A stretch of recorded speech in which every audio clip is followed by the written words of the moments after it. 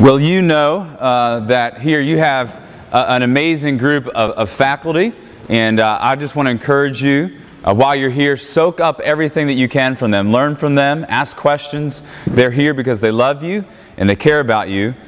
But I also want you to know that they are pretty passionate people, all right? Uh, last night, several of them joined into a very passionate game of catchphrase, uh, and it ended in somewhat of a controversial finish.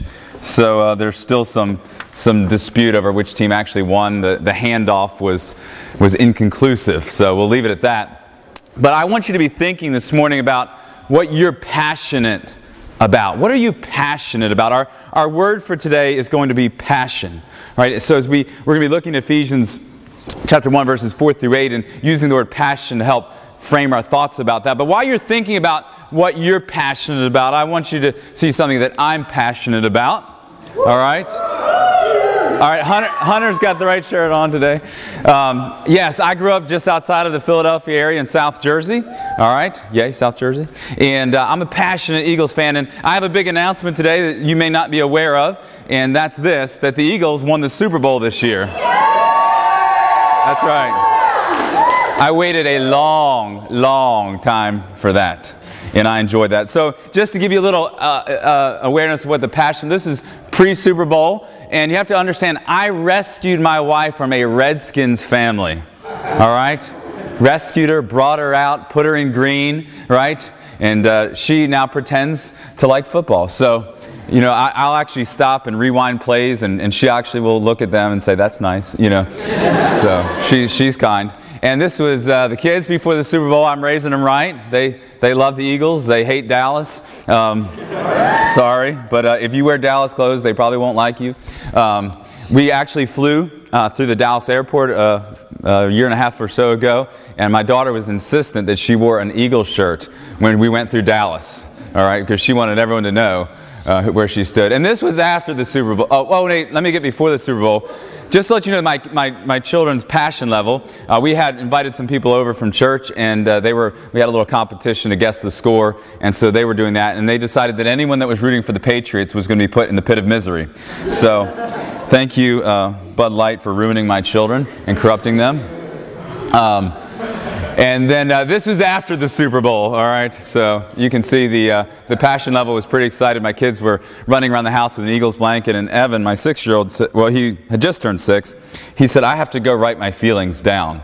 So, so it, it was a pretty, pretty passionate, passionate moment. So as we think about things that we're passionate about, I, I want us to think about our passion level for Jesus and our, and our relationship with Him. Because while there might be a lot of things that you're passionate about in life, and listen, there should be some things that we're passionate about. Now, sports are great, but they're not the most important thing in the world. But there should be some passions that God has put in your heart, and you should pursue them, right? And pursue the things that God gives you a passion for that are honoring to Him and pleasing to Him and glorifying to Him. But there should be one passion in our lives that is above every other passion, and that is our passion for our Savior. But one thing that I've noticed in my own life, and you may have as well, maybe you're there right now, is that sometimes we realize there was a time or a season in our walk with Christ where we were passionate about Him, right? Where we were in love with Him and we felt that love and we were excited about living out our faith. But maybe something happened that caused your passion level for Jesus to diminish, or maybe it just happened a little bit over time. And so this morning, I want us to, to look at God's Word and, and from His Word discover why we should have a passion for Jesus and, and what that looks like in our lives. So if you have your Bible, let's um, jump to our text. And, and from these verses this morning, I want us to see three key truths, three key aspects uh, of our salvation, of our relationship with God through Christ that ought to inspire passion in our hearts and our lives. So let's read God's word together, Ephesians chapter 1, uh, verses 4 through 8.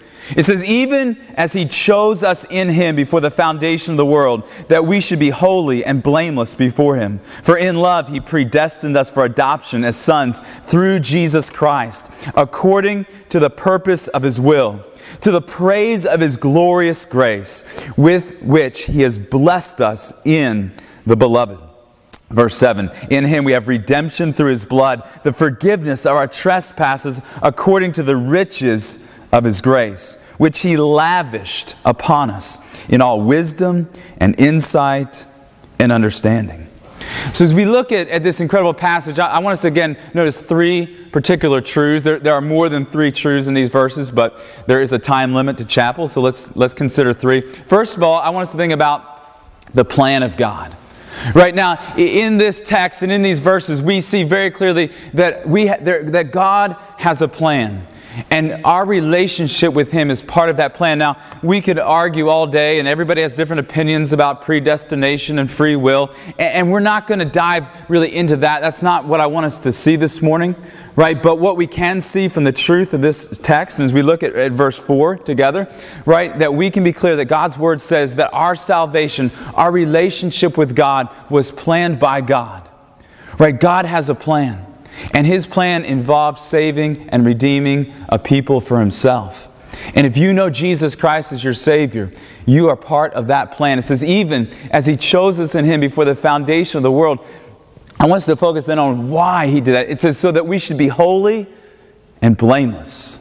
Right? God chose you in Christ to be holy and blameless. Holy means to be a saint, to be set apart. Remember we talked about saints yesterday that we are that Paul describes us as saints right? That we are holy and set apart. That, that's not something that you have to try to become. It's who God has made you. And then He calls us to live that out. You don't have to try to become a saint. Christ has made you a saint. You, you just need to understand who you are and then be empowered by the Holy Spirit to live that out. But He says, not only to be holy, but to be blameless. And this means to be morally without fault. Right? And the way that we can be morally without fault is because Christ took our punishment. And Paul's going to get to that as we work through these verses. So he says, We've been chosen to be holy and to be blameless. And this really ought to motivate us, right? We all need motivation at times. How many of you need motivation sometimes to practice? All right? You will find plenty of that here. And trumpet players, let me just give you a word of caution. Do not try to cut your practice time short because your teacher can tell all right? Because she was my trumpet teacher when I was here. So let me pass that on to you. We all need motivation sometimes, right? We, we need motivation. And I think this motivates us as we think about why should I have a passion for Christ or how does my passion for Christ grow, right? It grows because of God's incredible plan. Right? It grows because his plan was to make me holy and blameless. Right? And that's my identity that he calls me to live out.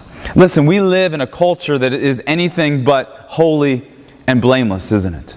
Right? We live in a culture much like, like we said yesterday, like the church lived in Ephesus, where there was immorality right? Everywhere that we look and everywhere that we go. But God in Christ has chosen you to be distinct and to be different. Right? And so he says, You've been chosen to be holy. God saves us to display the life of his Son in us and through us. And he wants us to be his representatives in a world that needs to see him.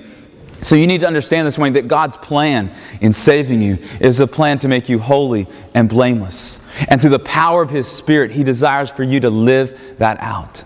And as we understand that plan, right, as we understand the, the, the incredible realities of this plan, it ought to cause us to have passion for Christ. Look at verse 5.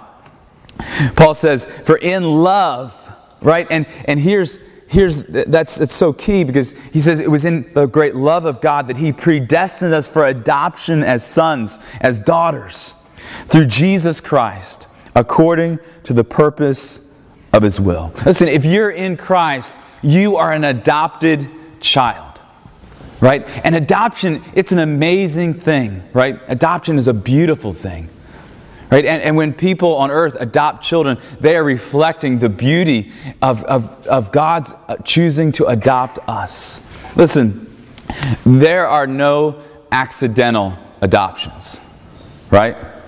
Like we talk about accidental pregnancies, right? Surprise pregnancies, right? Some of you were a surprise, right?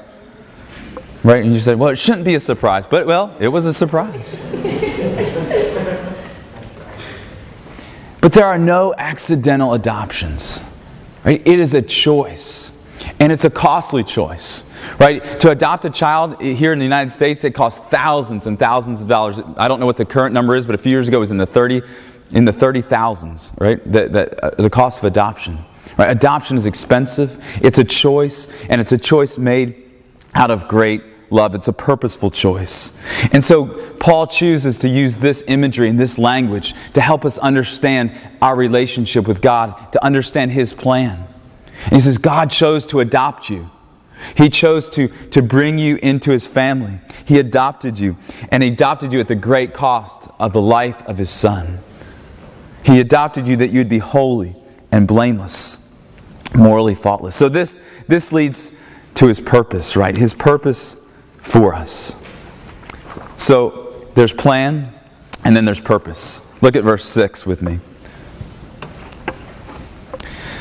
God's purpose in saving you is to radically transform your life. He says, to the praise of his glorious grace he saved you, which he has with which he has blessed us in the beloved. All right, God's plan involves his purpose. And his purpose was that our lives might bring God glory. Right? That ultimately our salvation, our relationship with God, it is ultimately about God's glory. It's about His praise. Remember, we, we encountered that word praise or eulogy yesterday in, in verse 3? And so here, Paul's using that, that word to help us understand right what our purpose is that we might bring praise to god that we would praise his what his glorious grace with which he has blessed us in the beloved. He's blessed us with grace right? We said yesterday that he's blessed us in so many ways but one of the ways that he's blessed us that he's blessed us with grace grace is undeserved favor getting what you don't deserve and in Christ, you've been given not just salvation, but you've been given relationship with God. You've been given the opportunity to know the God of the universe, the one who created you and made you, the one who sustains you, the one who sustains the entire universe by his power. He's given you the ability to know him. He has blessed you with his grace. His purpose in that is that you might praise him. Ephesians 1 3. Just reminding you from yesterday. It says, Blessed, right? Praise be to the God and Father of our Lord Jesus Christ, who has what? Blessed us in Christ with every spiritual blessing in the heavenly places, right? There is a plan, there is purpose, right? God has a purpose for you. We're going to get more specific about that on Friday. But the general purpose of your life is to bring glory to God. And that's an incredible privilege. And that ought to motivate us to live with passion. To say, I ought to have a passion for Jesus. Why? Because He has a plan. And that plan involved Him choosing me and adopting me, right? At the great cost of His Son. That, that God purposefully chose me and brought me into His family. That He sought me, right? When I was far from Him. And He brought me into a relationship. And there's a purpose for my life. I'm here to bring glory and honor and praise to the one who has blessed me with His grace and His forgiveness and His mercy. How did he do that? The third truth I want you to have is provision. Provision. Now, provision can mean several things, but it can mean one of its definitions is a condition or requirement in a legal document. A condition or requirement in a legal document. Right? When athletes sign contracts, there's all kinds of provisions right in there. There are legal language in those contracts that specify certain things. So God has made provision, a legal requirement has been made for us to have relationship with Him. Look at verses 7 and 8. It says, In Him we have redemption, that's a, an important word, through the forgiveness of our trespasses according to the riches of his grace, which he lavished on us, upon us in all wisdom, insight, and understanding. Listen, we said that legally before God, you and I are guilty, right? We have sinned. We have rebelled against Him. There is guilt. We are, we are, the Bible says we are dead in our trespasses and our sins. We're separated from God's love and His goodness, although He desires for us to know it. And so Jesus came to be the provision for our sin, right? He lived for you. He died for you, right? He rose from the dead for you. Jesus came to be that provision, to redeem you. That, that word means to buy back Uh, I read a story uh, a little while ago. It's an older story, and it, it, talked about a young boy who loved he loved boats and he loved sailing, and so he and his dad uh, built this beautiful model sailboat and it was designed to actually sail. And so they lived near a lake. It was a, a, pretty good sized lake, and they would take it down to the edge of the lake and put it in the water and, and play with it. Well, one day it was fairly windy, and they were playing with the boat, and it got away from them, and they couldn't retrieve it. And the boy was very sad, and he would go out every day and walk around the shore of the lake looking for his boat and never found it. Well, one day he was in a store nearby, and lo and behold, in that store he saw his boat. And he couldn't believe it. And so he went to the owner of the store and he said, uh, I got to tell you, that that's my boat. You know, I built that boat with my dad and, and I lost it. And, and the store owner said, Well, a fisherman brought that boat in and I paid good money for it. So if you want it back, you're going to have to pay for it. So the little boy went and uh, did all that he could to earn the money to buy that boat back. And then finally, he had enough money. He went back and he bought that boat. And as he clinched it tightly on the way home, he says, I love you even more now, for I made you and I bought you. You're twice mine now. And you need to understand that's how God sees you. He made you, He created you, He formed and fashioned your life. But even though you rebelled against Him, and even though, like me, you are a sinful person, He chose to buy you back at the cost of His Son. He chose to redeem you. And understanding that and, and, and re- remembering that and bringing that back into the focus of our hearts and our minds ought to well up passion in our hearts and in our lives for Christ, realizing the cost that Jesus paid for us, that we've been redeemed by his blood. And look at what it says there it says that we have forgiveness of our trespasses, of our sins, but then it says, according to the riches right? According to the riches of his grace, not out of the riches of his grace, right? You can give out of your riches. If I were, let's just say I was a billionaire, right? That's a nice thought, right? I promise you I am not. But if I was, and, and I said, I want to make a generous donation to Csehy Summer School of Music, they'd probably accept it, right? I'm going to give $100. How many of you think that sounds generous? Anybody? Not very generous at all. I'm a billionaire, right? $100 isn't generous, right? Like that's, that's like less than pocket change. But that would be giving out of my riches. Right? But if I gave according to my riches, right, I'm a billionaire, I'd say, I'd like to give $5 million to Csehy Summer School of Music. Right? you accept? Right? That would be what? That would give, be giving according to my riches. That's what Christ did for you. He gives according to his riches. He has, look at verse 8, he has lavished his grace on you. How many of you think lavish is a cool word? Anybody? All right, that's just like a good word, right? There, there are words that some words are just like, that's a good word. Lavish. He has lavished his grace on you. Lavish means to be elaborate, to be extravagant, to be over the top. Right? He has gone over the top in giving us grace. Why? Because He doesn't just give us grace for our past when He saves us, but He gives us grace for our present and He gives us grace for our future. Right? Because when God chose you, right, He knew everything about you, past, present, and future. Right? And when God chose you, when God adopted you in Him, He knew, listen, He knew all about what you would do even after He saved you. He knew about your failures. He knew about the times that you would disappoint him. He knew about the times that, that you would sin against him and rebel against him, even though you're his child. And you know what? It didn't stop him from choosing you. It didn't stop him from offering his grace to you. And listen, he never regrets his choice. God never looks at you and regrets saving you. God never looks at you and regrets what he's done for you because he loves you with an everlasting love. And he has lavished his grace and his mercy on you, and that ought to lead us to passionate lives. But even though all of that is true, sometimes we lose our passion, don't we? Sometimes our, our passion for Jesus just isn't there. And, and that happened to the church that Paul was writing to, right? Paul's writing to the church at Ephesus. He knew them, he loved them, he wanted them to be on fire for Jesus. But just about 30 years later, John writes to the church at Ephesus, and he says this I know all the things that you do. I've seen your hard work and your patient endurance. I know you don't tolerate evil people, and you've examined the claims of those who say they're apostles, but they are not. You've discovered they're liars. You have patiently suffered for me without quitting. But I have this complaint against you. You don't love me or each other as you first did. Look how far you've fallen from your first love. Turn back to me again and work as you did at first.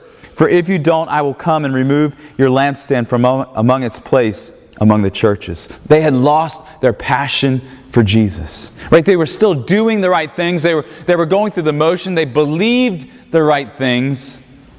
But their passion, their love for Jesus had cooled.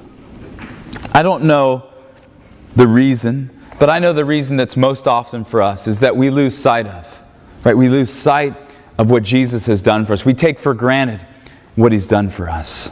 And so I want you, while you're here at camp, to be thinking about what is it, right? What is it that may be keeping me from being passionate for God? And, and as you're thinking about that, I don't want you to lose sight of his plan.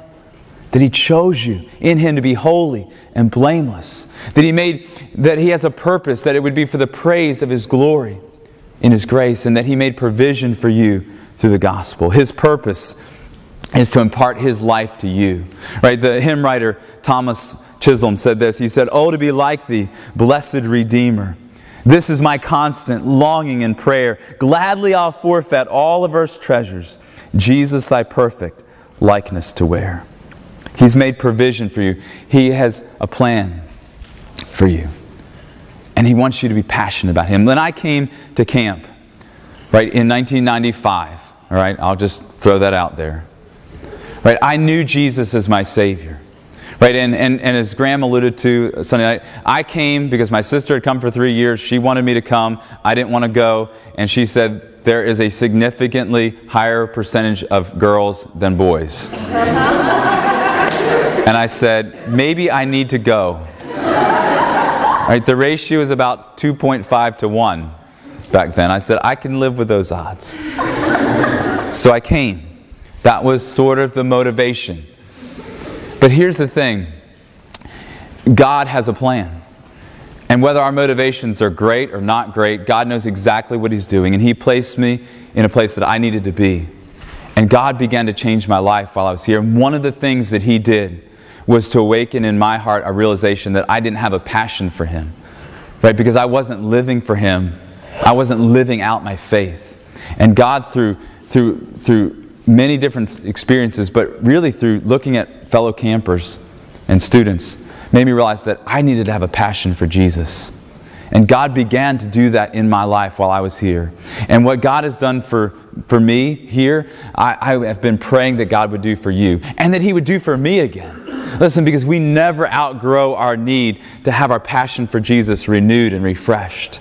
Right? We never outgrow that need. And so I just want you to think about your passion level for Jesus. And as you do, I want to share with you the words that Isaac Watts wrote in 1707. As you think about the passion that we ought to have for Jesus. He said, Alas, and did my Savior bleed, and did my sovereign die? Would he devote that sacred head for sinners such as I? Was it for crimes that I had done? He groaned upon the tree. Amazing pity, grace unknown, and love beyond degree. Well, might the sun in darkness hide and shut its glories in, when God the mighty Maker died for his own creature's sin. Thus might I hide my blushing face while his dear cross appears, dissolve my heart in thankfulness and melt my eyes to tears. But drops of tears can never repay the debt of love I owe. Here, Lord, I give myself away. Tis all that I can do. A young woman in her 20s named Fanny Crosby heard that song one night. And although she had heard the gospel before many times, nothing had ever changed in her heart and her life. But she said that that night, on hearing that last stanza, she said, Something changed in my heart. She said this She said, I felt that my very soul was flooded with celestial light, and said she leapt to her feet and shouted, Hallelujah! Hallelujah! And she said this She said, I realized that I had been trying to hold on to the world in one hand and the Lord in the other. Listen, you'll never have a passion for Jesus if you're trying to hold on to something that God's calling you to let go. And I don't know what that is for you. For me, it was because I was worried about what people would think about me if I lived out my faith seriously. And I realized that I was trying to hold on to that. So I want you to think about what is it that you're holding on to that you need to let go so that your passion for Jesus can be the most important thing in your life. Would you bow your heads? Let me pray for you and us and me. Father, I thank you. I thank you for the privilege that we have to be here together this morning. Father, I pray that, that you might overwhelm our hearts this morning with the passion that we should have for you. Father, help us to see the plan and the purpose and the provision that you've made for us, and may that well up passion in our hearts. And Father, I pray that if there's something that we're trying to hold on to in our life, that, that you're calling us to let go, that you would reveal that to us. Father, so that our passion for you might be the greatest passion of our life, and that we might serve you with passion, never forgetting what you've done for us. And I ask this in Jesus' name. Amen.